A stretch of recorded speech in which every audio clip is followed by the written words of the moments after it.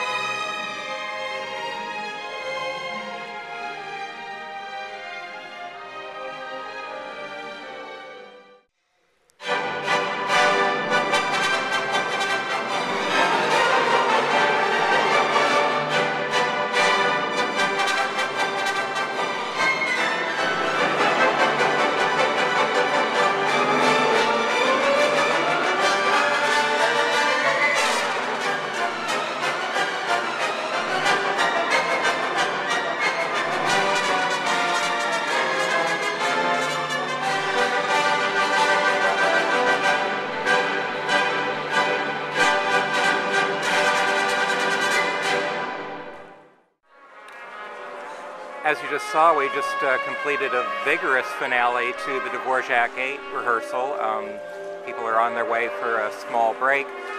I'm here with uh, resident conductor Ward Stare, and Ward is serving as cover conductor for Gilbert Varga this week. Um, Ward, tell us what the cover conductor's con duties are.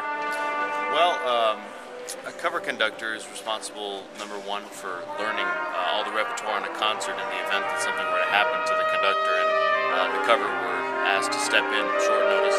Uh, and also, I come to all the rehearsals and I watch uh, what the maestro is doing so that I'm aware, you know, of, of the different things that make his interpretation individual that he's worked on all week with the orchestra. So if I had to go in, you know, I would be aware of what the orchestra is sort of expecting. And also, I serve as a second uh, set of ears for the conductor in the hall, so he can turn around and ask me if he wants, you know, how the music is actually sounding in the hall. And sometimes the conductor will even ask the cover to come up on stage and conduct the orchestra while he or she goes out in the hall to listen. So you sort of have to be ready for, for anything the cover. And tell us something wonderful about the Dvorak Symphony Number no. 8. Just one thing? no, the um, Dvorak. Dvorak is one of my favorite composers in the first place, and of course we all know the Ninth Symphony of his, the New World, very well. But I think the Eighth is just every bit as wonderful. I mean, it's full of beauty and light, and it was written at a time, you know, in the late uh, 19th century, the 1880s, and you know, we're talking about the height of, of the Romantic era. We're talking, you know, post Wagner. We're talking the big, heavy Tchaikovsky symphonies, Rachmaninoff, etc., etc. And this Eighth Symphony of Dvorak's is pure light and joy, and it's really a wonderful, wonderful piece on any program.